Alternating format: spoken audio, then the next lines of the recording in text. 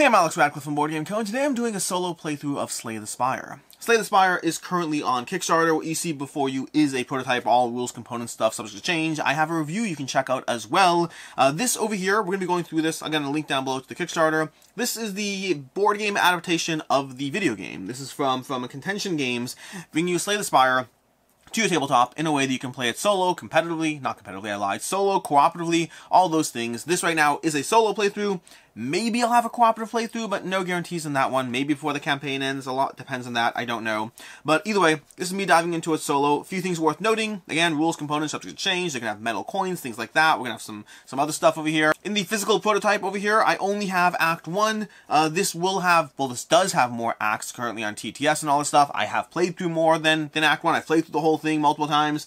But this right now, today, we're just doing a single playthrough through Act 1. To that end, we're to start us off by determining which boss we're fighting. We're going to go ahead and roll the die over here. We got a 4, which fortunately enough is the actual one we're on at the moment. So we're going to be fighting against this boss over here, putting it down on our path. These tokens are set up over here. Uh, they're randomized, some degree of randomization, some degree of preset pathways. Different token backs define which spots they go on, so you have a degree of randomization, but also a degree of control over how this map is set up. Again, we're currently going through Act 1. We're playing as the Silent right now, so this is the Silent over here. We're going to have our player mat over here. We have our little board with our 3 energy around zero block. I'm currently playing on a slightly altered Ascension mode. Basically, there are different Ascension modes in play, but again, the prototype is limited in what I have, so I just decided to give myself the two potion limit, which is one of the Ascension modes, as well as limiting my health by two, which technically wouldn't happen yet, but I can't I can't balance around some of the other Ascension stuff. So, slightly harder gameplay over here. Not a, a lot of things, a lot of the elements of the game that you could have potentially unlocked at this point, I wouldn't necessarily have done so, so just just trying to give myself a bit of an experience here. So let's go ahead and dive into it. If you don't know already, Slay the Spire is a deck building game. It's a deck building game where you go through a bunch of iterative adventures, starting off down here, making your way up until eventually defeat the boss. Doing that across three acts, defeating the boss three times, or defeating three different bosses, getting progressively harder as the enemies level up and get harder as you go through it. Throughout the course of the game, you're going to be building out your deck, hence the deck building game. Between combats, you shuffle up your entire deck again, and that should be enough to get you started. We do have the other players over here. We have the Ironclad, the Defect over here, and the Watcher all in play. Again, if you want more information on my opinion of the game, you can check out my review. I'll link to that down below. This is me just, just playing through it because Slay the Spire. So, let's dive into it, starting off with our, well, our first encounter. Our first encounter is going to have, let's go ahead and draw the enemy that we have. Put out, no, I lied, got to start off properly. By drawing, let's randomize this over here. Let's shuffle these up. These are going to be, one of these is going to be our starting, uh, our starting situation. So we're going to go ahead and draw that. Now is going to give us Neow's Blessing. Neow's Blessing gives us three money, which we'll take three money over here. Three money, as well as a card reward, which we'll go ahead and do. When you take a card reward, generally you draw from your default deck of cards, which I'll show you in a second. But then other times you'll have opportunities to draw from your special cards. But we're going to draw from our regular cards over here. And we have the following card rewards we have Cloak and Dagger, which will give us, I love, I love Shivs and defense. Over here we have two attacks, two defense. You may switch rows with another player. That's not going to help me as much in a solo game. So I think I'm kind of inclined to go with Cloak and Dagger. Getting some Shivs in play. We're going to toss that on top of our deck. Getting rid of these two. We'll shuffle our deck before the encounter. Then we have the rest of Neow's Blessing, which gives us an option. We can remove a card, we can gain $4, or we can add two random card rewards to your deck and lose two health. I don't love random cards. I'd rather card agency and control. So I'm actually going to choose to remove a card off the bat from my deck. So because we just got something that had a little bit more block, I think I'm going to actually remove a defend card from my deck. We'll put that off to the side, and that is our starting setup. Again, we'll shuffle before combat. Let's start by looking at what enemy we're fighting at, and we're fighting over here on this top row here. These slots are for multiple players. If you're playing with multiple players, I'm just playing solo right now, which means we're fighting a cultist, which also means we need to go into the deck over here and pull out a green louse. We have a red louse over there. We need a green louse somewhere here. Green louse because of the, the summons deck. You always draw a single card, and it tells you which cards come along with it. And then we're going to see what we happen we have happen over here. We're going to start by shuffling up our deck now. We're going to, every round of combat begins with you rolling a die to see what effects might be affected by the die. Sometimes if there are no die effects in play, I might skip that. Right now we do have a die effect in play, so we're not going to skip that. So, we're going to go ahead and do so. We're going to roll the die. We're going to draw five cards and start the deck building process. We're fighting against the, the Cultist and the Green Louse. The Cultist is going to be strengthening every turn, like you'd expect from the game. We have to put two health markers on them. And then we have the Green Louse, which is variable. Right now it's dealing uh, a weaken over there. Plus it has Curl Up. The first time it takes damage, it gets two Shield. Shield only lasts to the round, so we're not worried about that right now. If we have any Shivs, we don't. Are we taking attack? We're taking one attack this round. So a single defend would negate the attack, But the question is, do I want to do that or do I want to neutralize? Honestly, neutralize is better. Neutralize will, will negate the attack anyway. So let's go ahead and play neutralize over here. Neutralize is going to deal 1 damage to the cultist while putting a weakened token on him. The next time he deals a damage, he's going to deal 1 damage less and remove the token. That costs me 0 energy. I have 3 energy, 0 block, and 7 health. We're then going to go ahead and hit a curl up on the green louse just to uh, effectively, I, honestly, no, it's immediately going to get 2 shield right now, so I can't take it out right now more. But that triggers its curl up, and now it's got two shield till the end of the round. Then we're going to play a strike and a strike, and they're doing two more damage, one, two, against uh, that character over there. Now, I should kind of revise my turn, because I forgot. Start of turn, start of combat, I draw two extra cards, which might affect things. It does not. So that's my turn over there. We got that. Our three energies expended. I do not always move my energy down as I go. It's the situational. But right now, as far as just in terms of tracking, but right now, the uh, cultist is going to go ahead and get a strengthen token, which means he's going to deal additional damage with every attack next turn, but he's going to deal zero damage because he's weakened. So it's one minus one is zero. And this guy's going to go ahead and weaken me, which means the next time I deal damage, I'm going to deal one less damage, and then remove the two shield, and that's his turn. We're going to go ahead and draw five more cards, and continue the process. So, we got five more cards, a handful of, we got roll the die over here. Let's roll the die. We got a 4, which means he's doing 1 damage to me. Now the good news is I have a whole lot of blocks set up over here, which means I'm kind of fine as far as not dying. We're going to go ahead and do the first block, which will generate a uh, we'll generate a shiv as well. So we're going to generate a shiv with that. We're going to go ahead and then potentially I don't care about any of these cards. We're just going to go ahead and generate two more block, which should be enough to generate all the defense we need. Unfortunately, it doesn't kill everyone. This is a delaying turn. Delaying turns aren't great when we're dealing with the cultist because the cultist gets stronger every round. So right now, end of turn, we're going to go ahead. I spent my energy. I got my block up to three. The cultist is going to go ahead and deal two damage to me because of the fact that he has a strengthen token, and then he's going to strengthen again for next round dealing 3 damage, and the green louse is going to deal 1 damage because of that 4. That's a total of 3 damage, and I currently go down to 0 block. That's my turn. We're going to go ahead and shuffle up my cards and proceed to the next round. We got this. We got this. It's taking longer than usual, but we got this. Four, first combat. We have one, two, three, four, five cards. We have our three money over there, which is unrelated to anything happening here. And we have our cloak and dagger. So we're going to go ahead and just outright kill. Ooh, I don't love it. I don't love it. Let's see what we can do over here. I may not be able to kill things. We should roll the die. Let's see what we're getting. We're doing a 2. So he's doing 2 damage that I don't love, so I do want to take him out. They are getting stronger and more annoying. We're going to Cloak and Dagger, spending 1 energy and getting one of those and 1 Shiv.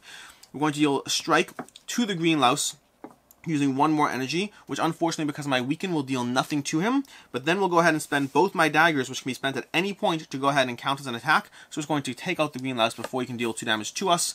That takes him out of play.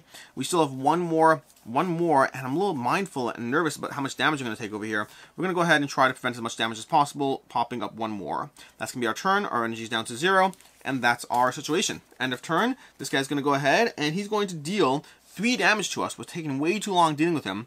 I have 2 defense, which means I will only take 1 damage, which is good-ish. The problem is now he gets another strengthen token, and now he's doing 4 damage. It's We gotta take him out. We gotta take him out. One, two, three, four, five. My shivs are gone. We're gonna remove those from play. We're gonna see what we got over here. We got, okay, so that's not bad. So we have Let's go ahead and do Survivor, which will do two defense. I have to discard a card. I'll discard uh, one of those. That gives me two shield over there. And then I'm just going to go ahead and deal two damage to him with our other two energy. And that will hopefully take him down to a manageable amount, down to four. Maybe next turn I can kill him, but I honestly, I don't think so. I don't think so. This is not good. This is a very bad first round for the record. He's going to go ahead and deal 4 damage to me, less my 2 block, meaning I'm going to go and reduce my block to 0, and take 2 damage. This is horrifically bad. We're going to go ahead and draw our cards. He's going to get another strengthen token, and if I don't take him out this round, um, we got problems. We got problems. So let's go ahead and see. I think I have to. No, it's too late. It is what it is. Fine. We're going to go ahead and draw our cards. We have these two over here. The neutralize will definitely help us. That's going to help a lot. Let's go ahead and shuffle our cards and see what else we draw, because that's really going to define just how badly we do or don't do as we go through this. So we're going to go ahead and draw three more cards. One, two, three. Not the best at all. We're going to go ahead and neutralize him, which will deal a damage and cost me zero over there and weaken him, which means I have a chance of actually surviving because now he's only doing four damage again, which is uh, manageable, I guess. And then we're going to spend our three energy to go ahead and do Survivor, discard a card. That's going to be one, and then two more of these. And that's a total of four block against his four damage. Uh, so we're actually fine on survivability this round. But he is going to get another strengthen. But the good news is we're probably drawing into a hand of enough strikes at this point to actually take him out. So it, everything is fine ish. He got another strengthen. He got his neutralized, weakens his damage. That balances out. And now we're going to draw five cards. Play it, pray unto everyone you care about that we have at least three damage in this hand. So we have a cloak and dagger, which is going to be a damage over there. We have a strike, and we have a strike over there. That's going to be our three damage. We'll expend our shiv, and that is a kill. Took way too long, and I lost four health, three health, to a starting character, which is not the best but at least we took him out. This is the point where we're going to get our card rewards. We're going to go ahead and get one gold. This is going to be the reward we get over there. That's going to be a single gold, and three cards, which we'll take over here, and we'll put them off to the side. And we have our three cards to add to our deck. We have Terror, which gives Vulnerable and Exhaust, which is okay, but not the best. We have Sneaky Strike, which is three, but if you discard this, this if you discard a card this turn, you get two mana back. And we have Dagger Spray, which is not bad, but I kind of like Sneaky Strike, although it is very situational to discards. But I'm going to start building towards a discard deck and see what happens over there. And that is our first encounter. You've just seen encounter number one. We're going to go ahead and move up the pathway. And this is where we have to try to choose where we want to go because I like the idea of going this pathway will get me to the merchant. And it might be the only way to get the merchant. I do want you to see the merchant. So we're going to go up the center pathway and we're going to have a random encounter. So encounter number two, we have the lab. You find some potions. Each player gains a potion. Roll the die once for the party. On a 4, 5, or 6, one player gains another potion. So let's go ahead and see. We do not. We get a regular potion. That's it. And we have Fire Potion, where I can deal 4 damage. We're going to toss it over here with my potions. That's our lab encounter. And now we're going to continue our adventure to our regular other enemy. We have these over here. And we have a Sneaky Gremlin. Summon three random gremlins. This is going to involve us going to our random gremlin pile over here. Random gremlin pile comes out and we're going to go ahead and put out random gremlin. We have three random gremlins. This is obnoxious. We have three random gremlins. I don't even know if we have the board space to properly manage this. We do, just barely. Okay, we're going to go ahead and put down. Now, the good news is these are easily killable. Uh, that card I had that would have dealt damage to everyone. So one of the cards I just, I just did not choose, unfortunately, is the Dagger Spray. That small means it would have done two damage to everyone in the row. Everyone. Everyone, everyone, everyone. Like, that's a lot of everyone's. We're going to go ahead and shuffle up our deck and see how we're doing over here. Our block is down to zero. Our health does not heal unless we do something to heal. That is the nature of Slay the Spire over here. You got to got to actually work it. This is not good. This is not good. Start of combat, we do draw two extra cards. That is helpful-ish. We'll see. Okay, we can go ahead and draw our five, six, seven cards and see how our start of combat goes for us. We have Sneaky Strike, which is not helpful yet. We have a, we don't even have the discard. We don't even have the discard. Okay, let's see what we can do. We have a Neutralize, which could be good for someone that's staying alive.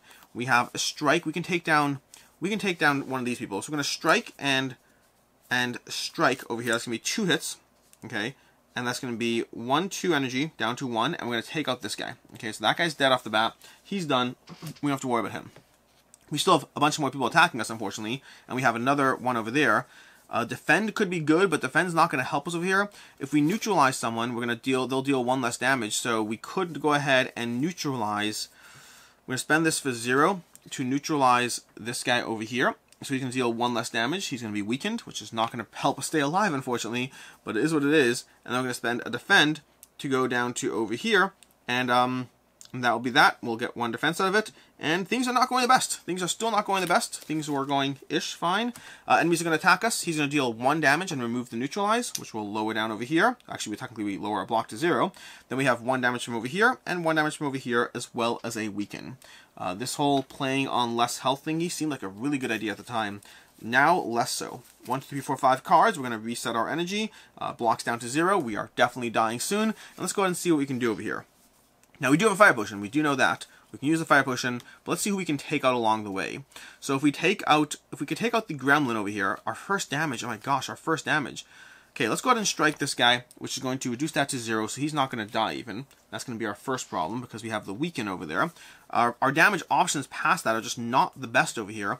Uh, we could go ahead and cloak and dagger, we could discard a card, uh, we could strike this guy to kill this guy, which will be our second energy expended. That's going to take him out of play, which is not bad at all. I don't mind taking him out of play. And now we have these two people. Well, actually, we need his card for the um, reward over there, so we'll take that.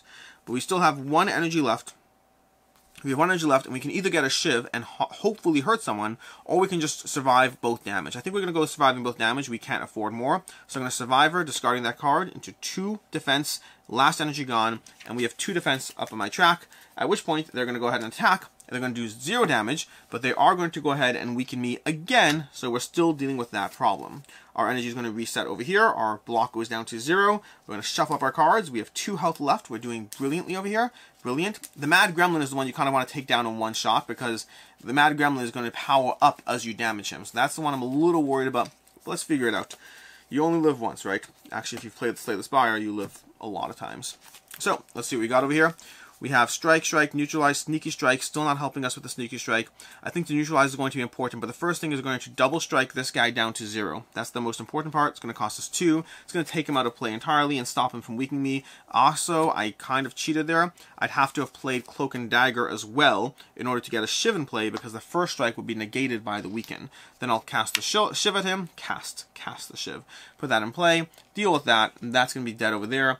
And this way I have to make a decision of whether I want to start the process of attacking, because I still have Neutralize over here. Neutralize is not bad. This guy's dead over here. I can take him out. The problem I have is the Neutralize would potentially negate him now, but it would leave me potentially vulnerable to actually dealing much next turn. I think I'm going to go ahead and neutralize him. That's going to weaken over there as well as dealing a damage. So he is going to take, uh, he's going to power up, but the weaken will cancel out the power up at least for next turn. That cost me zero, and we're done. Uh, now he's going to go ahead and deal his two damage to me, which becomes one, which becomes zero because of my block, and we reset this to three, and we walk into next turn, drawing five more cards. So this is where I kind of want to take him out right away because that Mad Gremlin, if I can't take him out right away, it's going to be it's going to be a problem for us. Uh, the weaken is gone, the strengthen is not. We have one, we have two. I can deal two damage to him. Now he's currently going to deal three damage to us. So right now he's dealing two damage to us. If I attack him once, he'll deal three damage to us. So I am going to strike him, which means he's now doing three damage to us because of that. Uh, that's going to cost me one. But then I'll go ahead and do Survivor on my other strike to discard it for two shield and defense, and that's going to be my thing, so I'm able to take all the damage. Right now we're in pure mitigation mode.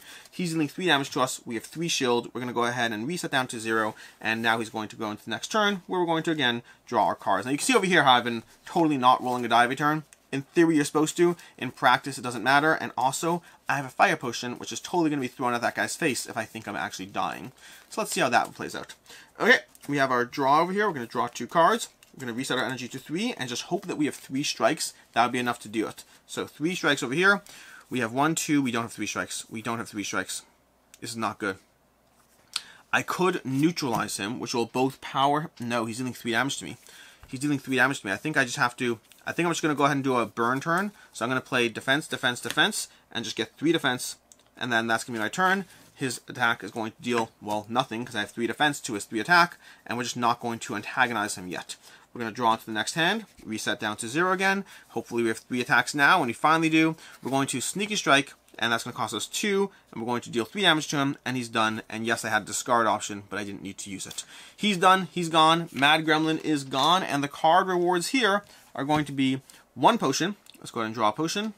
We have a Distilled Chaos. Play the top three cards of your deck without losing energy. Treat X energy costs as your current energy. Ooh, that could be fun. That could be fun.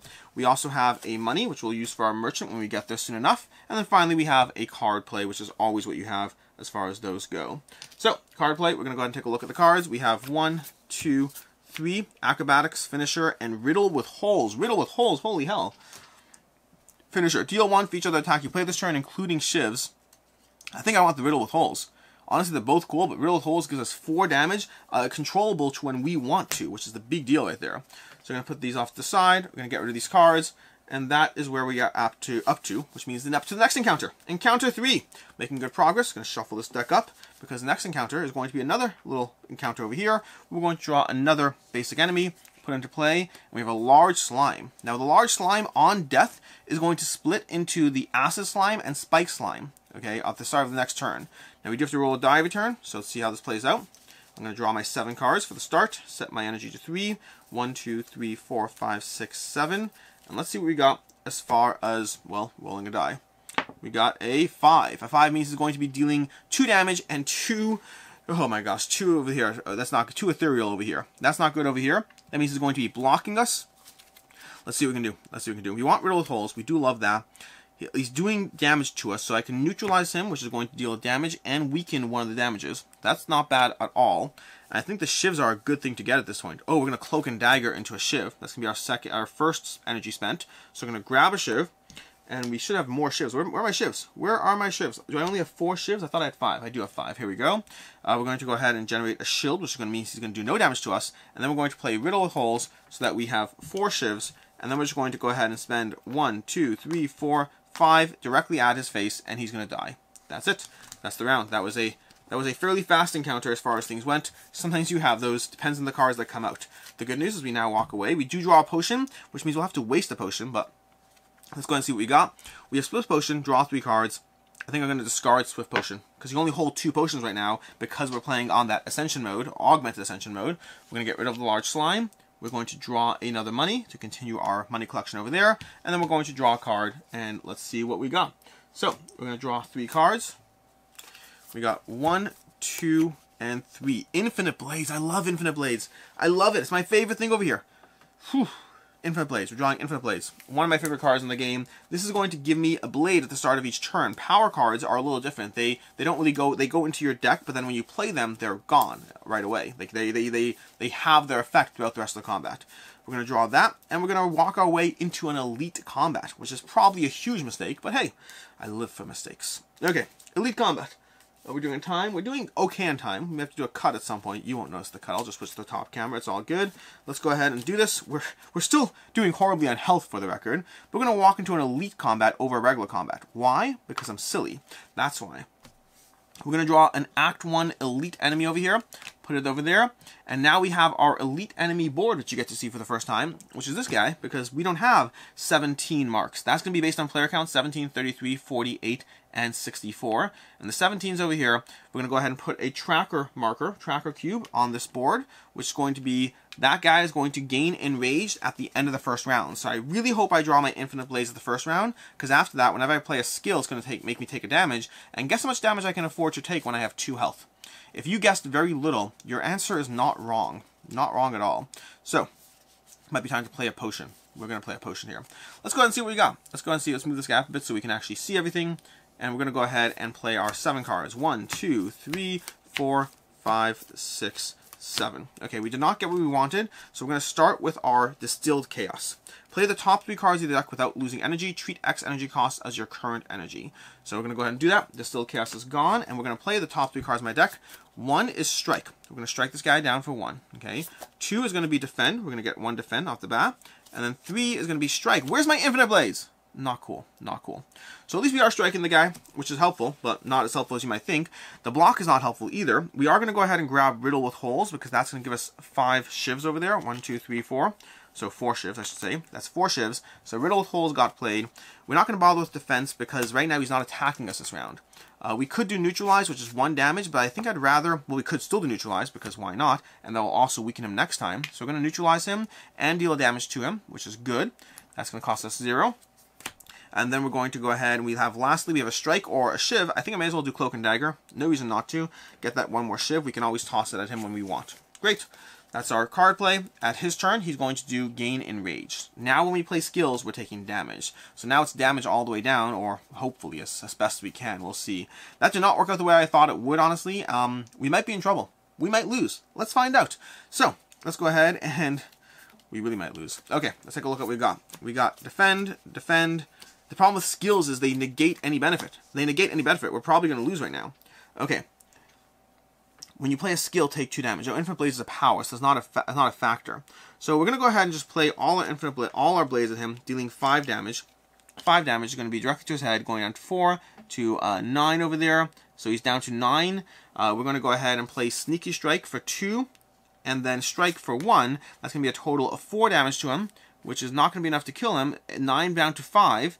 And then we're going to go ahead and um, I think that's all we can do. That brings us down to 0. And then we could do 4 more damage to him, which sadly is not enough. Because 4 more damage is going to bring him down to 1. Okay. Oh, it might be enough. It might. It's not enough. It's not enough. Brings him down to 1. Okay. And then from there, um, From there, I don't believe there's anything we can do because right about now he's going to deal 2 damage to us, which is exactly how much health we have. And we have this kindling, but we can only use it at a campfire, which means we went ahead and, and died. Yeah, that was hard mode. Um, cool beans. Well, let's go ahead and set up again because this is so short. What I think I'm going to do is I think I'm going to go ahead and set this up again and dive straight into another match. So you get to see me play two games of Slay the Spire at once. I'm going to go ahead and uh, snap my fingers and have myself set up as... Who do we play as now? Do we want to play as... I had never liked the Watcher. Not in the... Not like even in the regular video game. I, the is never my, my jam. I, I always found the Defect to be fun, but not as fun as just straight up playing as the Ironclad. Ironclad works for me. They're simpler, but it's not my issue. My issue is just they're good. I could do the... Do I want to channel? Maybe you'll see how channeling works. You know what? We'll go ahead and play as the Defect. I'm not as optimistic as playing as the Defect. I, I find I've always found it to be more struggle to play as I, the whole cycling of the orbs, but it is fun to watch how it goes. So we're gonna go ahead and set up as the Defect and see if we can start another playthrough and, and see how this one goes. I'll see you in a second. And we're back, playing as a defect this time. All set up and ready to go. We got our map a little more randomized. We're going to choose our boss right now. We got a 5, which is a different boss than the one we never fought the last time. So we now have this guy over here instead. We're going to pop that guy in there. Everything else is the same, except I haven't changed my miniature. But we'll go ahead and move forward with that. Uh, let's go ahead and take a look. So, we got over here, we can get rid of these shivs. We're not going to be using the shivs in this game because the defect does not use the shivs. Instead, the defect channels orbs. Now, if you're familiar with Slay the Spire, you'll know that the defect has this whole channeling orb thing where you have these rotating orbs. The location of the orbs does not matter in this one. Again, this is the balance trying to make everything into a board game while keeping as many elements as possible. We instead can have three orbs over here, and we can go ahead and start of combat. We're always going to channel a single lightning over there. So, to channel lightning, and the orbs operate a bit differently, but we'll talk about that as we go through it. Same basic stuff. We're going to go ahead and start with a Neow card and see what we get over here. We have gain $3, which I believe is standard, as this gain a card over here. And choose an option, add a random rare card to your deck. Ooh, definitely doing that. We're going to add a random rare card to my deck over there. We're going to go ahead and do that. So we're going to grab a random rare card. We're going to take a look and see what it is. And it is we got multicast. Invoke an orb X times. That's fun. Alright, cool. So we can invoke an orb X times. That could be fun, fun little card to be utilized over there. We're going to go ahead and select our card that we're choosing from our card reward. We have Claw, Scrape, and Cold Snap. So I think channeling Frost is definitely helpful here because we're going to be invoking orbs a lot, that's going to be helpful. Claw is plus one damage with the topmost card and discard pile costs zero. And Scrape is plus one if the topmost card, return it to your hand. So a lot of cards in the, the uh, defect do rely on zero cost things. And I am certainly intrigued by that. I'm certainly intrigued by leaning into the... Hmm. I'm intrigued by leaning into the zero cost element. But I think I'm going to start with Cold Snap.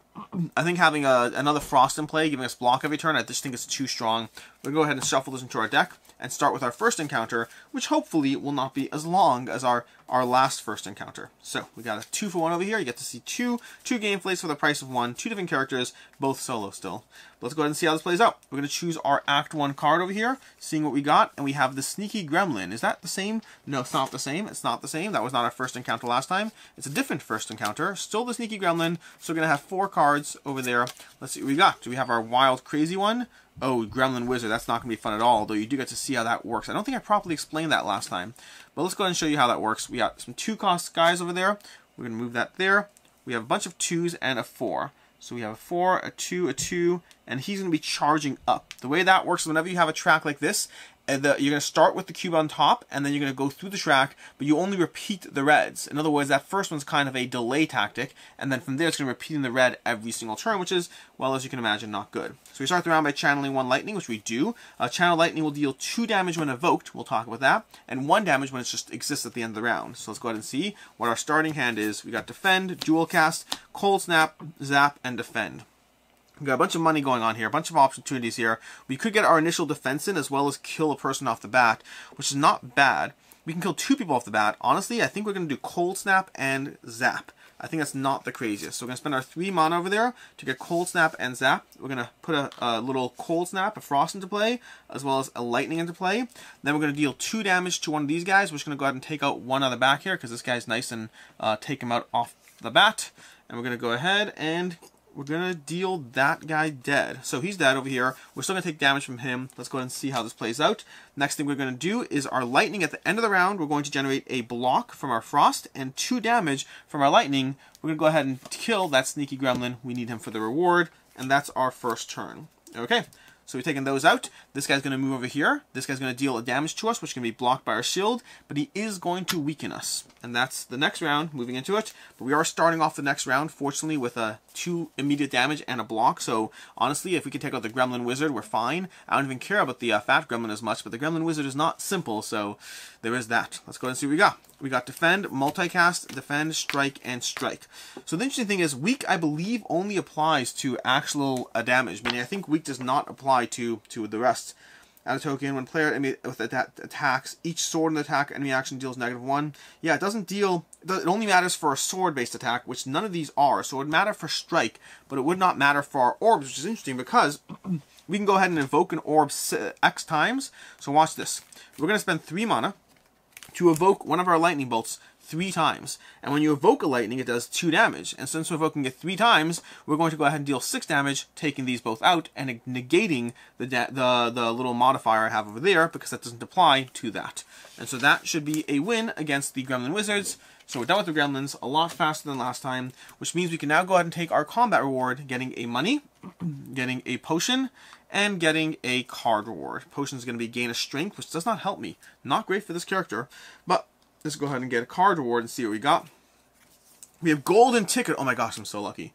Golden Ticket, Loop, or Force Field. So when you reveal a Golden Ticket, instead we're going to reveal a rare card from our deck, which these rare cards are indeed rare, especially in Act 1. So that's actually pretty, pretty interesting. Orb End of Turn effects get plus 1. That's really interesting. Okay, that's a strong one, but it's also expensive. It takes up an entire turn. Versus End of Turn Loop, trigger an Orb's End of Turn ability do we get one plus one across all our orbs? Or force field, three costs one less for each power you have in play. I think I'm going to take defragment because I don't want to miss it, but like I'm a little worried that that's the wrong choice. Playing a three cost card in Act 1 is just hard. Until you have those things that give you additional mana coming in, energy, not mana, until you have that stuff going on, I just feel like not having that would be a mistake that I'd regret later. I just, it's expensive though. It's expensive. Three cost card when you only have three energy is tough. Either way, let's see what we can do with this. So, we move to the next encounter on this chart, which I did randomize again. We have a randomize. Let's see which way we want to go, actually, before we just do it ambiently. Let's. We want to go... I like... We have a merchant over here, we have a merchant over here. If I go to this merchant, I can get those two people. So I think I want to go down a pathway that gets us this way, maybe? Do I want a rest pathway? We can rest over here. So if I go on a rest down pathway up there, we're going to go down the middle. Okay. We're going to see what we have for Act 1. We have Act 1, Ancient Temple. You come across an Ancient Temple. You sure you don't see any traps? Gain a, a, a, a, relic, lose 1 HP, lose additional HP for each player who chose this option before you. So we're going to gain Sundial, which on a 2, we gain 2 energy. That's beautiful. That's beautiful. That's very helpful. Sundial could be very useful, and we do get, lose a health, though, for it. So there is that downside over there. But let's see what we got past that. So we got that over there, and then we're going to go ahead and choose our encounter. Moving further up the track over here, we're going to go ahead and have a regular counter. And we're going to grab this and put down a fungi beast over here. Now fungi beast comes into play with another fungi beast, so we need to grab one of the matching encounters over here. See what we got. We got another fungi beast over somewhere here. There we go. Here we go. I'm going to put that into play. And we will go ahead and start our hand, where we're going to start and channel one lightning, which we already did. We're going to roll a die. It applies to all effects. Be a 2. It's not a 2. It's a 6, which means this Fungi Beast is strengthening. That Fungi Beast is doing 2 damage. And our ability here does not matter at all. That's not going to be fun. Not going to be fun. We could go ahead and channel a Frost. I like that. So we're going to go ahead and do that. And I think we're going to deal 2 damage to this guy. So he's going to go down to 4. This guy's going to be a 5. Uh, that's because he's strengthening, which I don't love. And then he's going to go ahead and he's going to Cold Snap and channel a Frost. So getting a Frost, that's good. We still have one energy left, which we could use to defend, but we are taking two damage. I can negate the damage down to nothing by defending. I'll negate the damage down to nothing by defending. So, that's our energy spent. Our turn is done. End of turn, we're going to deal a damage and generate a block because of our orbs. And then we're going to go ahead and take, this guy's going to power up. And this one is going to deal 2 damage to us, which will hit our block, and we are good to go there. And now we move on to the next round. Next round, we're going to go ahead and draw some cards, reset our energy, and draw five cards. So, we're going to roll the die. Let's see what we got over here. and we got a 4. So this one's going to be strengthening, that one's going to be damaging and strengthening. So we really need to take that guy out. He needs 3 damage. We can evoke an orb twice to do it. We can channel a lightning. You know what, honestly I'm kind of inclined to do that. I don't want to invoke my Orb's Light. We're going to channel a lightning, popping the lightning to play. That'll be able to do 2 damage, and we'll do this over here. This from last round. And that means it's going to be a damage over there to that guy.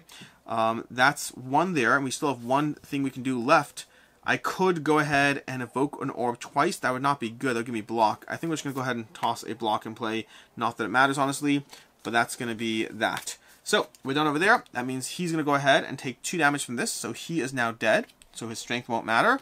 And then this one over here, on death, though, he's going to make me vulnerable, which is not great. So that means next time I take damage, I'm going to take twice the damage. And this guy's going to strengthen, so um, basically, if he deals this, he's going to be dealing 6 damage to me in one shot, because 3 but doubled, and that would be problematic. So let's hope he does not roll that, or that if he does, we can take it out.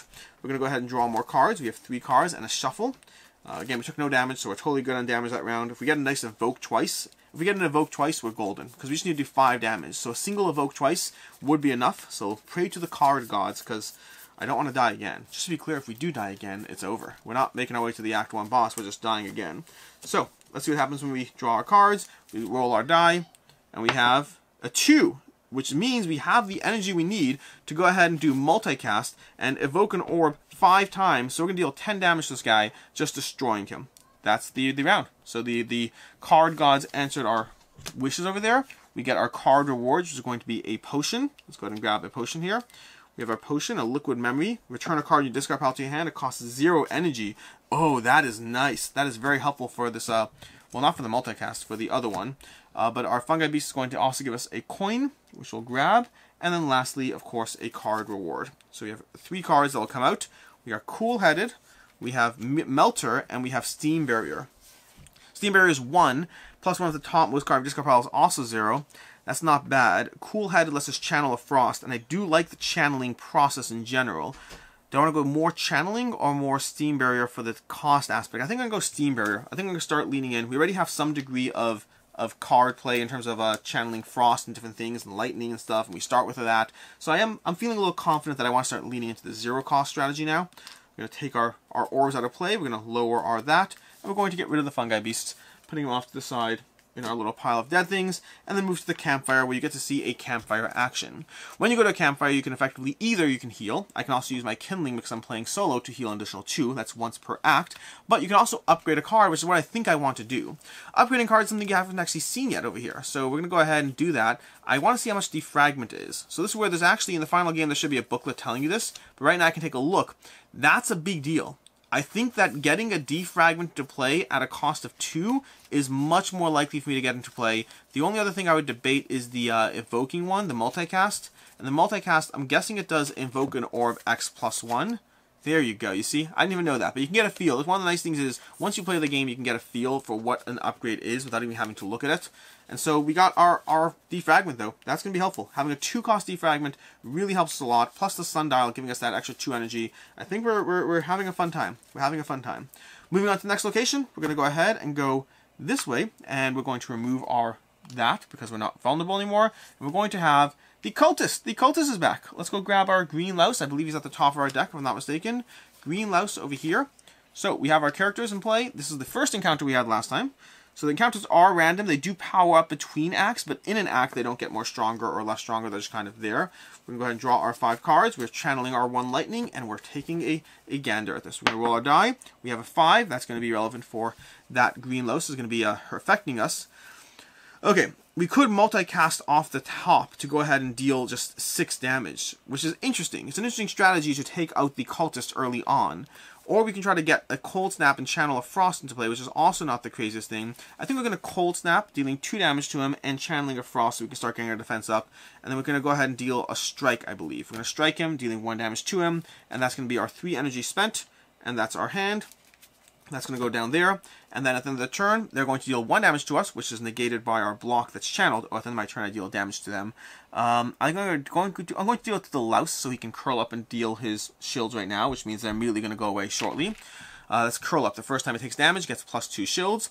Then this guy is going to go ahead and weaken us for the next attack. He's going to strengthen. His attack is negated against us, and these shields come off. and we go to the next round where I reset my energy to 5, to 3, not 5, that'd be cheating, and roll a die hoping for a 2. Give me a 2, give me a 2, give me a 2. We got a 4, a 4. So he's going to be doing 1 damage to us unless we kill him. So let's go and see what we got. We got Defragment. Orb effects get plus 1 until end of turn. That still is solid.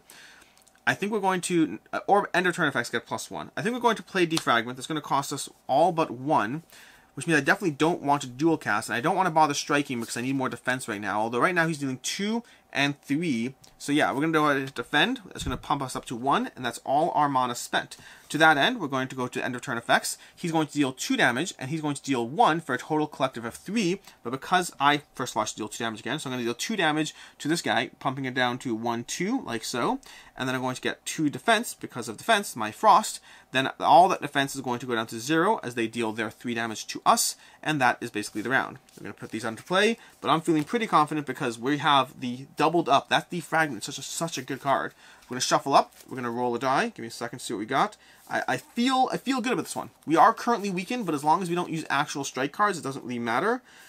Upgrading that card is a big deal. I'm feeling good. I'm feeling good. Don't worry. That's where you usually get smacked in the head in this game. So we're going to go ahead and roll the die. Get a 2, get a 2. It's not a 2. We're going to be dealing 1 damage with that guy. So what do we got over here?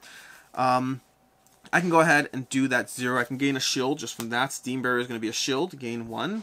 Okay, we're going to go ahead and then channel a lightning. That's definitely something we want to do because our lightning deals 4 damage a turn right now, which means we can immediately take him out and block that.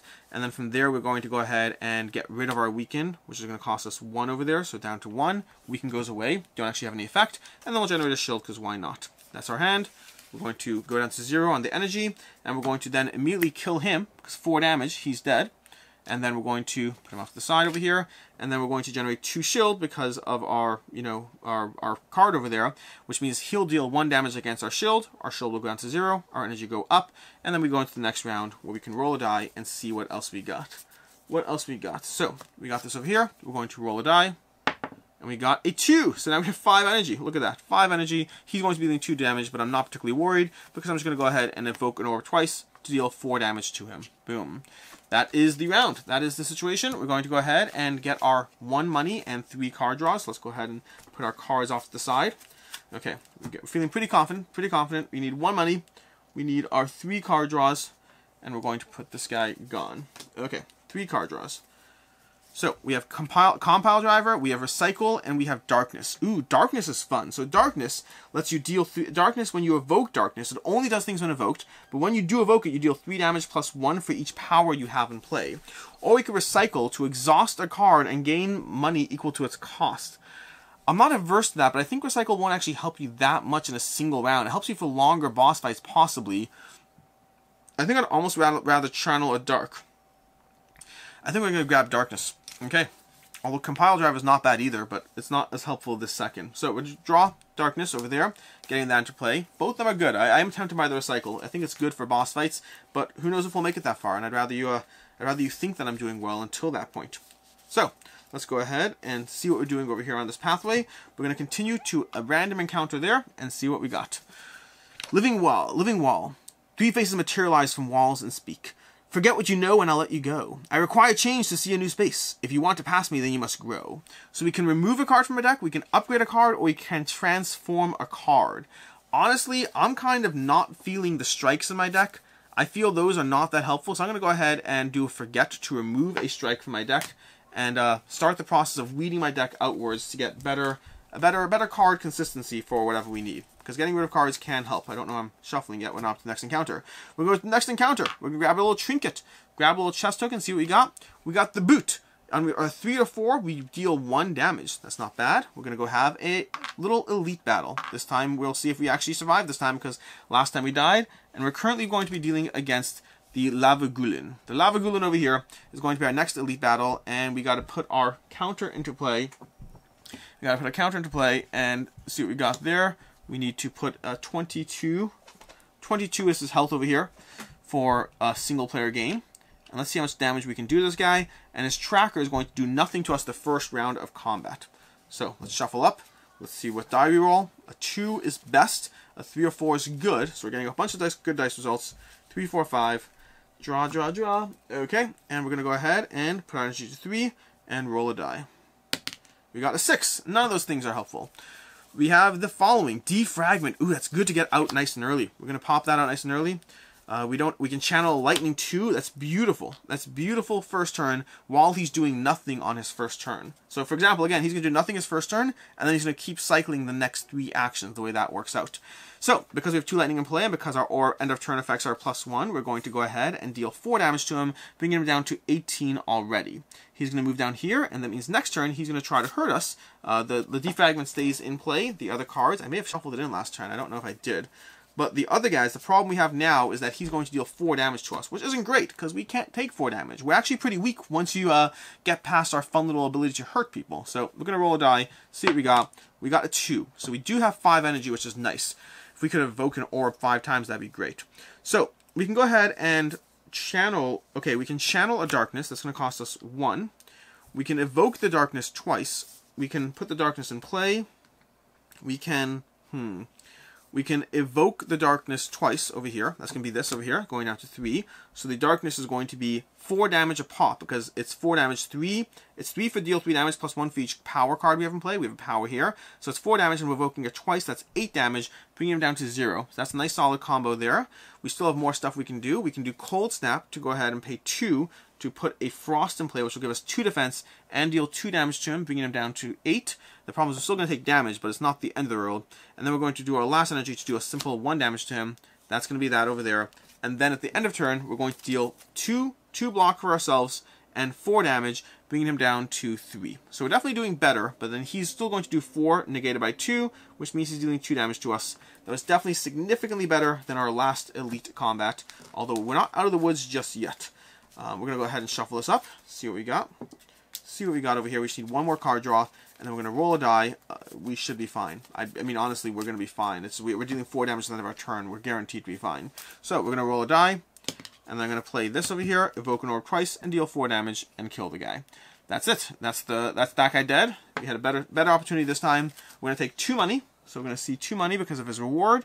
We're going to get 1 relic, which are always my favorite part of the game. Dolly's Mirror. On a 6, trigger another die relic. Its owner gains the effect. Ooh. So that means on a 6 or a 2, we can go ahead and get 2 mana. And then also gaining a card reward, which is always the best part. We're going to see what we got. Let's move this out of play. And then let's move this guy out of play. And then we have we have Sunder, 5 damage if this kills the enemy, gain 3. That's cool, but not good for boss fights, which is where I really want it the most. Streamline, 3 but costs 1 less for each power card. I don't have a lot. And we have Compile Driver, 1 and draw a card for each type of orb you have. The problem is I can't really pay for those cards. So honestly, Sunder, despite being not the best, might still be the best. So I'm going to go ahead and grab Sunder. It's not, not what I want, honestly. But sometimes with the card draws, now you could skip taking a card entirely. If you don't want to hurt your deck, you can skip it entirely. But I think sometimes not that bad. I just think it's situationally good. And situationally good is not the worst for right now. So, we're going to go ahead and continue our encounter. We're going to have a merchant board encounter. So, let's show you a merchant board. Merchant board counter is going to work as follows. We're going to grab the merchant board. We're walking along the merchant spot. We're going to start spending our money. So we're going to put a merchant board in play. We're going to put down relics. They all cost the cost shown, but this one costs one less. Okay, so we have the relics over here. We have the potions in play, which will cost, again, the cost shown. And then you could buy cards and weed cards as well. So we're going to put cards down in here. We also have a card removal service where you can pay 3 on each remove a card once per player. We are going to reveal 3 cards from our regular deck, and they cost 2, 3, or 6 depending on the rarity. Okay, so that's what we have over here. And that is what we got as far as our marketplace. Now we have a total of 1, 2, 3, 4, 5, 6, 7, 8 money to spend. Uh, Omam Omamori, you can't gain curses would be very cool, but we're not playing a longer game. We're only playing Act 1, so it's less useful. The Abacus is once per room. You can add 1 to the die result. And it's, I, I think it's optional. I assume it's optional. Otherwise, it's just random. So it's optional, but it costs 8 which we could do, but it can guarantee a lot more flexibility on both of these, being able to have some really powerful turns. I might actually go that route. Energy potions are temporary, and we have a limit of two anyway, so I don't care about that. Um, I think I am kind of inclined. These cards don't really help us. Leap doesn't help us. Doom and Gloom is not bad because it lets us channel more dark, but it's still costly, and I don't know if it helps us much. I'm kind of inclined to take the Abacus so we can have some really strong, powerful turns. That's going to cost us 8, which is all our money. Every last cent of we what we own is going to go towards buying the Abacus, but I think it works for my current set of relics as is. So I'm going to put this down here, that means we now have the ability to basically make things what we want them to be a whole lot. Basically, four of the dice results will give us plus two energy, which is just really, really strong as far as, well, the marketplace goes. So, that's a marketplace encounter. We're going to continue on along a path to have a, ooh, we could do a branching marketplace, but I don't want that. That's not going to help us. We're going to do our randomized encounter over here. Random Act 1 encounter. We have Big Fish. I didn't split before you. Which do you choose? Each player chooses a different option. I can heal two health points, which is not bad. I can upgrade a strike, which I don't care about. I can do the box where I gain a, a what's it called, and gain a curse. Or I could do a restraint and remove a strike. I'm kind of inclined to do restraint and remove a strike, but I think I'm actually going to have self-control and just gain 2 HP to hopefully survive. So one of the big changes from this game versus the um the, the, the, the, digital game is everything's kind of scaled down. Instead of having 100 health, you have 10 health. Instead of dealing 10 damage, you deal 1 damage. It's all scaled down, but that means 2 health is 2 health is a lot. We're going to go ahead and move to the elite fight over here and see what elite guy we got. We got the last guy we died to. So it's comeuppance time. We're going to have our 17 health over here, 17, and this time we're totally going to kill him because this time we're a whole lot stronger. We have our channel this, we have our energy to 3, we have our die ready for all our relics that are just super awesome. We go and shuffle up our deck and start the process. We're about to have an actual boss encounter. So you're about to see how boss 1 plays out in a second. Act 1, you're going to see that shortly. Let's go ahead and figure this out. One, two, three, four, five cards. I'm excited. I think we might, we might actually take on the boss. I don't think I've actually done that. Have I done it with him in this? I, Apologize, I played so much digital Slay and so much regular Slay I don't even know anymore. But we have our strike, we have a dual cast, we have a multicast, a steam barrier, lots of options. The multicast is not bad, but the first thing we need to do is we need to roll a die, and we rolled a 6, which can immediately trigger the 2 to gain 2 more, so we're going to go ahead and get a 5 energy turn. So this is where you get to the part where it's going to be a little obnoxious, because I think I'm just going to try to like take him down. I think I'm going to, if I pay 5 energy, I can just evoke that orb down to 0 and deal a chunk of damage to him. We need a tracker on him. Which, especially considering he doesn't like skills, that might not be a bad time to just take him down directly to 7. It's tough. I think it's the right time, though. I'm going to multicast for 5, and I'm going to just evoke this orb 5 times, dealing 10 damage to him, bringing him down to 7. I feel a little weird doing that. It's not the... It's like a little early to just, like, evoke my orbs. Usually I'm trying to, like, build things up, but it's the right move, I think. And now he gains enraged, which means now when I play skills, I'm going to take damage, which that's the part I don't like. That's where he's a bit of a jerk face about those, because I rely on skills primarily to survive here. So, we're going to go ahead and roll a die. What do we got? We got a 5. A 5 could become a 6, which then could become anything with our sundial. So it's not bad. It's not bad at all. But we have to make decisions over here. We can channel a dark. We can channel a dark. We have cold snap. I'm a little worried now. So he doesn't like skills. He's going to make us take damage from skills. I could do Sunder, which is not the worst, honestly. Sunder is not the worst. Neither is Cold Snap. So we can do the following. We're going to do Cold Snap. Actually, pretty, I think it's over. We're going to do Cold Snap to deal 2 damage to him. That's going to cost us 2. And then we're going to do Sunder, which deals 5 damage to him, which costs us 3, technically goes down to 0. It deals 5 damage to him, but then gets us back 3, but he's dead. So, um, yeah. That's what powered up looks like in this game. That's the fun part. You power up like a boss, which is important because we're about to take on the boss. We're going to get two money, which isn't going to help us because we're not actually playing Encounter 2 right now. We're going to get a card reward and a relic. So we're going to go and take a look at a relic. Peace Pipe. When you rest, you may also remove a card. Ooh. Well, that's that makes resting a whole lot more compelling. I wasn't planning on resting, but maybe I will. But let's first take a look at my card reward and see what we got. We got Beam Cell, Hologram, and Go for the Eyes. Go for the Eyes as a zero cost card does feed a little bit into my strategy, but not extensively. Hologram is put a card from your discard pile into your hand and exhaust it. That can be powerful for like an endgame strike. I don't mind Hologram. I don't mind Hologram, and Beam Cell is not bad either, but I think I prefer Hologram. Hologram can really, although Beam Cell can be good if you would do Evoke. Let's read the, um, let's take a look at the card. I just want to make sure I'm doing this correctly. See, when you have this card over here, evoke an orb X times. So I'm pretty sure it only, I'm pretty sure each instant counts on its own. So I don't think that's going to help. So we're going to grab hologram. We're going to grab that one. We're going to put these out of play. We're going to grab this guy because he's definitely dead. Definitely so, so, so dead. And then we're going to go ahead and deal with the boss we're fighting, which I don't even know what it is, but I mean, I do. It shows on the back. But first, we're going to rest. So when we rest, we're going to move forward to the rest spot. And I could rest to gain one, which is helpful because I can then remove a card from my deck. Or I can try to upgrade a card. The multicast is an Evoke Orb X plus 1. It's not that strong. I think I'm going to go ahead and rest to gain 7, and then remove a card from my deck, removing a strike. So I think I'm going to do that, because I want to get rid of my strikes in my deck. And then we're going to go ahead and flip this guy, and we're going to be fighting against the slime boss. Slime boss is over here. He's going to have 20 health, which is actually not that high, but again, playing solo. But some of the bosses here can get pretty high as far as their health. We can have like 100 plus. And then we're going to have a little tracker. He's going to be trying to clog my deck extensively with those, which is um, not fun. So, but Slime Boss 1 killed is at the start of your next turn. Summon a large slime, acid slime, and spike slime. Oh, that's why he's not that much health, because he's going to keep summoning other other things, which is yay. Okay, anyways, did I kill a slime? I think I killed the slime earlier in this playthrough or last playthrough, and then didn't spawn his summons when I did. So I've been cheating somewhere. Anyways, let's go ahead and go through this. One, two, three, four, five. We're going to start by evoking channeling, channeling a single lightning on our board here. Energy set to 3. We have 7 health. We're doing what we can. And let's see what we got. So, we're going to channel a lightning and a dark. That's usually a good start offhand. So we're going to channel a dark. We're going to channel a lightning. That gives us something to evoke later. And then, oh, we didn't roll a die. We should roll a die. On a 4, we can make the 4. The 4 is just that. We can't make it into anything else. So we're going to make it uh, deal 1 damage to the enemy. So he's down to 19 now. Okay. And then we have one more thing we can do, which is going to be a strike, because that's all we can do that helps. And that's what we have as far as our turn. On his turn, he's going to go ahead and put three of these into our discard pile. They're going to clog our hand. We have to pay an energy to exhaust them, which doesn't hurt us now, but will hurt us later. But in the meantime, he's going to deal three more damage, and then do it twice more, clogging our pile even further.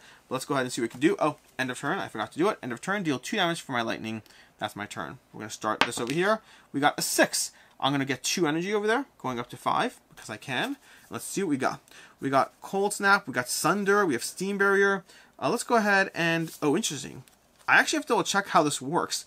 I don't know if Steam Barrier gives us plus one off of the um, this thing over here, because I don't know if it costs zero, but I'm just going to go ahead and say it does, because I think it's cool. So we're going to pay for the Steam Barrier zero, zero, get two block offhand, which should already mostly negate his block.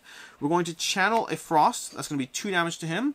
1, 2, but we're also going to evoke this when we do so. Whenever you are run out of slots, you evoke one, which is going to deal another 3 damage to him. 1, 2, 3.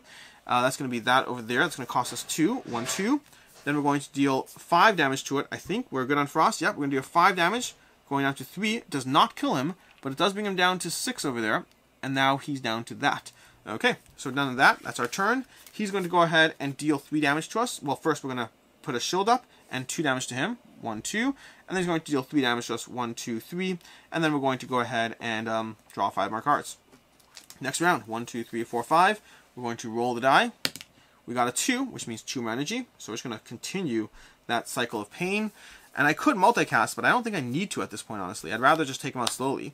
So we're going to do Defragment, we're going to get plus and one end of turn effects. Uh, that's going to cost us 2. He's going to go down to do 6 to us, by the way. So we should make sure that we kill him this turn. Can I kill him? I can invoke an orb twice. Interesting. If I can evoke an orb twice, then I can deal 4 damage to him. So I'm going to dual cast to evoke this orb twice, dealing 4 damage, bringing you down to, oh, you're at 4. You're down to 0. So you're 0. That's done. Um, and I think I'm not going to bother playing any other cards. We're going to let those go away. And then we're going to put into play whatever cards he wants, which is these large slime, acid slime, and spike slime. Large slime, acid slime, and spike slime. There we go. So we've got three slimes in play as a result of his death. So he does die. We'll get, talk about his rewards soon so you can see what that plays out with. But we do have these three in play as far as end of turn uh, baddies who decided to join us. So we have a 5, 9, and 5 with not tracker cubes but rolling dice. So it's up to next turn now. We're going to draw a hand of 5 cards. We're going to roll some dice. Let's shuffle out my deck because everything is gone there and let's see what happens. So I'm doing pretty well. So far dealing with max damage, which is great. Uh, one of the higher ascension levels does not have you healing yourself after each act. Instead, you heal two instead of fully healing, which is a big deal because usually one of the things you rely on in boss fights is the fact that you can actually go down to lower degrees of health. Let's see what we got. Let's see what we got. Okay, so we need to roll a die first for them and for us. We got a 6, which means they're all doing 1 and that, 1 and that. Um, we have lots of weakening happening, which won't hurt me as much. My 6 does enable me to get 2 energy, which I'll grab. And now we see what we got. We can multicast, we can zap, we can... Got some things. We're going to go ahead and start with Sunder. We're going to pay 3, and then we're going to immediately kill this guy, because I can and that's going to immediately give me back the 3, which is a beautiful use of the card, which I thought would not be helpful in boss fights. I was wrong. We're going to uh, channel a lightning with that, so that's going to bring a lightning into play, which don't forget they're dealing an extra 1, uh, which I shuffle that into here. Unfortunately, we're doing an extra 1. We'll just remember that. It's not a problem. Then I can evoke an orb twice if I want. I can strike now while the iron is hot. That's not funny. I'm going to go ahead and deal damage to that one. And then I could multicast to take this guy out. So I'm going to multicast paying 4. Ooh, interesting. Yeah, let's go ahead and pay uh, 3 to multicast this over here, which is going to do, basically I'm going to multicast this 3 times. So that's going to be 6 damage, going from you to 8 down to 2. That's gone and that is what I have as far as our, our abilities over there. Now the upside is, at the end of turn, this is going to deal 2 damage because our end of turn effects are improved, so you're going to go down to 0, and then you are going to go ahead and, um, I think I misread that actually, I lied. I put him at 9, he was at 12, so if I use at 9, he should be at 3 right now, so I, I caught that, 10 and 12, sorry about that, but I will go ahead and get 2 defense over here, which is not relevant, because they're going to deal 3, because on 6 right now, we're dealing 3 of these which would matter more if I was going for a strike strategy, but I'm not. So that does not matter for me at all. We're going to go ahead and shuffle up. One, two, three, four, five. And see what we got. We're going to go ahead and roll a die. Here we go. We got a 3, which will be 1 damage. I'll just go ahead and deal it to this one over here. So you got a damage, and 3, don't forget, affects these as well. So 3 damage and 2 damage is what they're going to be doing. And we have these cards in play. Now, I do have these over here, but they're going to clog my hand continuously. That's okay. Um, unfortunately, I don't want to be taking damage, and they're dealing a lot of damage right now. So I'm going to do, uh, we're going to do Steam Barrier, Steam Barrier, that's going to be 3 defense, going to bring me from 0 to 3. These are going to be gone. That was all three of my, I, okay, I could go ahead and pay to get rid of one of these, so I will do so. That's going to be one of these gone. The others are fine, we're down to 0. These go into my discard pile, and that means we're going to go ahead and use our doing 2 damage to kill this guy, so he's gone. Now, and this guy is going to, I'm going to get 2 defense uh, from my orb, which means his 2 damage to me is negated. So we can ignore that. Which means we go into the next round. We're going to roll a die and see what we get for next round. And we have a 4, which will deal a damage to him with this. Let's go and take a look at what we have as far as our cards. I'm feeling pretty confident over here. I think we should got this. We should have this, not should got this. Let's see what we got. We have Defragment, which is the one that's already in place, strictly speaking. So let's not grab that. And then we have the following. We actually don't have a lot of things over here that are fun. We're going to channel a dark, so we're going to pop a dark into play. That'll bring us down to two. Uh, he's currently doing four, which means he's doing two damage to us. So we're just going to do our best to just ignore that. We'll uh, we could strike him, but it's a waste of time. So we'll just go ahead and pop these two down and go up one two, one two defense, and that should be enough to keep us alive. Because then we're going to pop him for two damage with this over here. So he's going to go down to there, and then we're going to go ahead and generate two shield against his two attack which brings down to 2, which means we'll reset to next round, where I think we can safely say we got this, because at this point, no matter what I draw, we're going to go ahead and evoke that, have end of turn 2 damage from that lightning, which will kill him. And that is basically, let's just do it, let's just do it, let's just do it. One, two, three. I'm not going to roll the die, though, okay, I'm going to skip that part. But we're going to go ahead and play this over here, we're going to ignore all this stuff, and we're just going to rely the end of turn effect, and that's going to kill him, and he is now dead. Which brings us to the boss conclusion. Boss conclusion is you get the following. We can get 3 money, I'm going to add that to my board. This is only relevant if you're going to the next act, which we are not, by the way. You're going to go ahead and get three uh, rare card rewards. So we're going to go look at three rare cards and take a look at what we got as far as the rare cards. So we have Hyper Beam, we have Meteor Strike, 10, costs 1 less for each power you have in play. I don't have a lot of power, so that's not that great. We have 5, remove all of our orbs, but deals 5 to everyone. That's pretty interesting, but I like my orbs. And we have 2, and put all 0 cost cards from your discard pile into your hand. I find that intriguing. It doesn't actually play into what I'm doing right now, but it could if I continue to build my deck, which again, is Act 1, that's not going to happen, but let's pretend it is.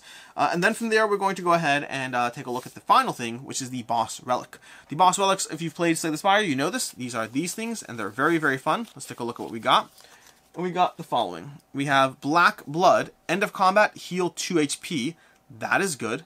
That is good for someone who doesn't heal otherwise. We have Coffee Dripper, that sounds like me. Start of turn, gain a thingy. At campfires, you can't rest. I will take Coffee Dripper. Or we have at the campfires, heal 3 when you enter the room.